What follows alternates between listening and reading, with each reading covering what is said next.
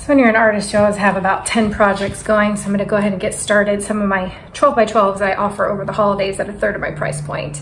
I do believe the art should be accessible to everyone and I know that my price point may not be, so I do keep the 12 by 12. So we're gonna prep some of them, get them ready. I'll just keep the plastic so I can lay down the wet paintings on them without ruining my hardwood floors.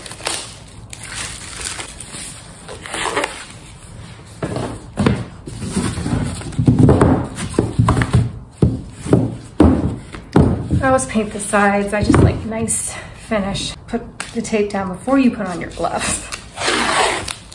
Give it to me like.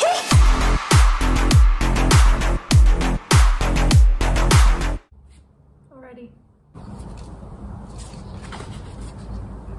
I love being in my art studio. Working through some stuff makes me realize that even a bad day now is a hundred times better. A hundred times better than any day with her best thing I ever did was become single again.